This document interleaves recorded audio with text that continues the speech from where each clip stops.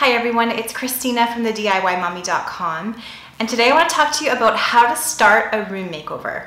This is one of the questions I get asked all the time when making over a room or doing a reno on a space in your home and it's where do we even start?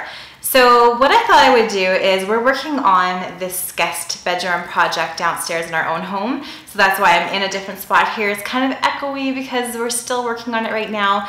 But I thought it would be fun to just take you along from start to finish on this little makeover.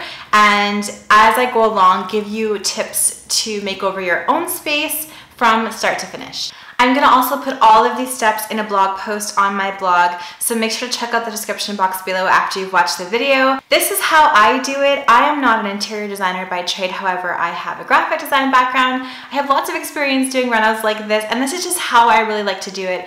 It makes sense for me, so I hope for some of you, you'll find it helpful. Okay, so let's get started. So step number one when you're making over a room in your home is first you really need to identify both the physical and the emotional needs of the room that you're making over. So in our space, we're doing a guest bedroom in our basement. So the physical needs are it needs a place for our guests to sleep, a place for them to put clothes, not too many, just a few, a place for us to put any essentials that they might need, like some towels, bath towels, maybe a little basket of guest goodies, toiletries, things like that, and also some really nice lighting.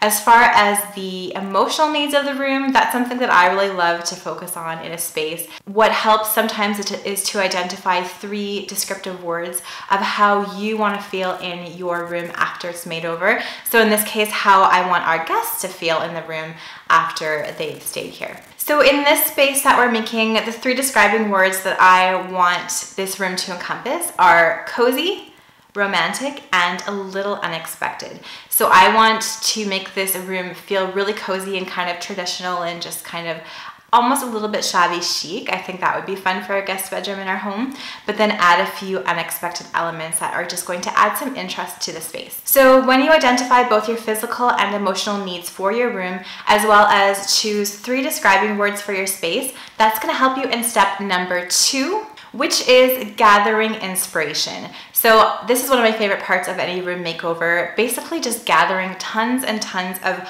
photos of rooms that you love that kind of go with the vibe you're going for for your own space and just starting to get inspiration for your own space that way. So the tool that I like to use for this and a lot of you I know like to use is Pinterest. So that's an online tool. Most of you know what it is. You can just find a ton of images but just by searching keywords in the search and you can pin them to virtual boards on your own Pinterest account. So for my space, I'm just pinning lots of bedroom images that kind of have that cozy, romantic, and slightly unexpected feel. I'm also starting to see that I'm liking the colors of blush pink, I'm liking copper, I'm liking gray, I'm liking that combo together, and that just really helps me to narrow down what I'm looking for for this space. So yeah, just start pinning images of other rooms. You can also do this physically. You can cut out magazine photos of rooms that you love that are similar to the room that you want to create. You can also use other websites like Houzz.com, that's a good one, um, and you can start just gathering inspirational images. And after you've created a whole Pinterest board or a physical pin board of inspirational images of your room, you can just kind of start to identify a common thread in all of those images. Usually you'll be able to see what color scheme you're loving for your room. Usually you'll be able to see what sorts of furniture shapes you like, and that just really helps narrow down the choices that you're going to need to make. And that is going to help you with step number three, which is creating a mood board for your room makeover. I also love this step. I've created lots of mood boards. They're basically just a collage photo of all the elements that you want to include in your space. So you could include color swatches that you like. You could include pictures of furniture you're liking for the space. You could include even some of your inspirational room photos on this mood board just to create sort of a basis that you're going to go by when you do your next step, which is shopping and finding your item. So I use Photoshop to make my mood boards and I just basically copy and paste images I find online and bring them into Photoshop.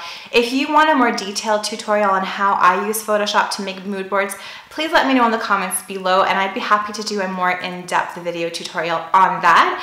Otherwise, you can use other photo collage programs that are free like Adobe Spark.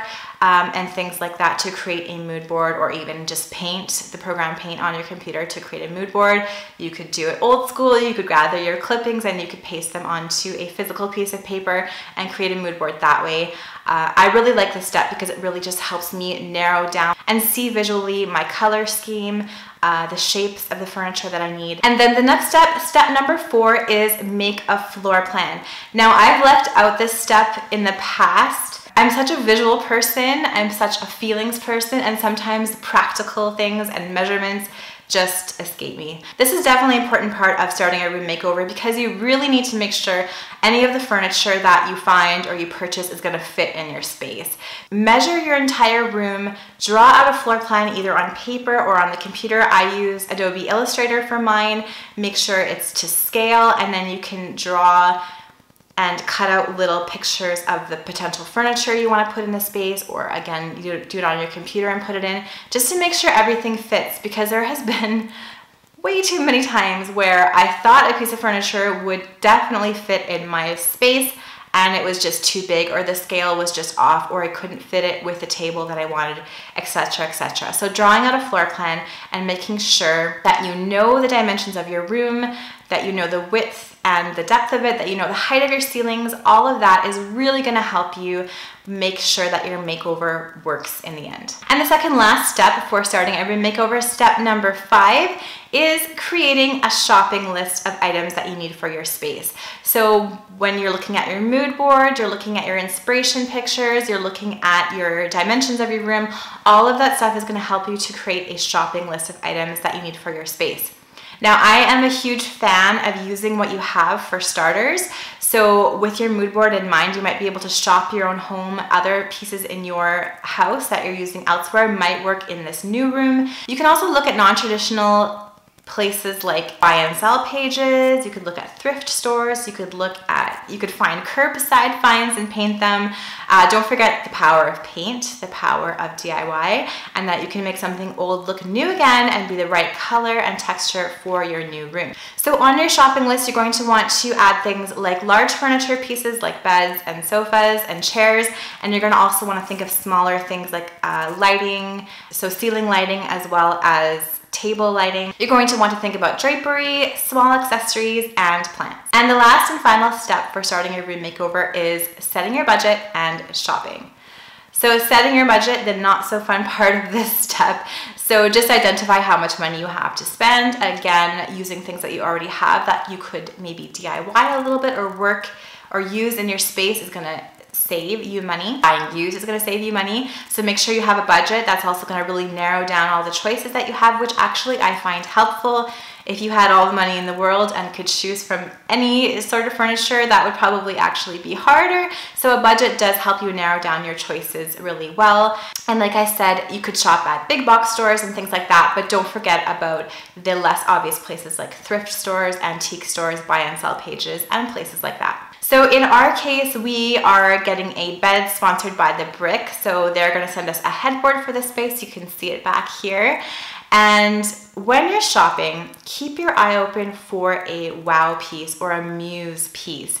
And I find finding something that you really, really love that is really interesting. So maybe it would be a really neat piece of fabric, some wallpaper, some throw pillows, something with lots of pattern and texture and possibly color if you like that um, that's gonna really help you choose all the other elements in the room. So in my case, when I was shopping around for this kind of cozy, romantic, slightly unexpected room makeover, I found this gorgeous wall mural that you can see behind me. So it's this huge oversized blush pink peonies and roses with gray leaves. And that really helped me nail down my color scheme. So once you find something like that, you'll be able to base your other purchases around it. And that's also helpful too. And it's always fun to have something really bold in a room, I think, even if it's just one thing. One last tip is people often think about paint color first when they're making over a room. And I think it should be one of the last things because you wanna match it to potentially your big inspiration piece. So in my case, the wallpaper, you want to match it to um, maybe some fabric that you're buying or you know, a big furniture piece. So leave that till closer to the end so you can really get that to match everything else in the space and everything's really gonna coordinate. Okay, so those are the steps that I take when I start a room makeover. I really hope you found those helpful just to have that really practical step-by-step -step guide when you're starting your own makeover. Let me know in the comments below what you think of those steps, which ones you've tried already, which ones you may have forgotten to use when you're doing your own room makeover. And make sure to stay tuned to see what we do with our guest bedroom and it turns out in the end. Thanks so much for watching my video today. I hope you found it useful. If you liked it, please give it a thumbs up and subscribe to my channel for more DIY and decor ideas. And I'll see you all in my next video. Bye.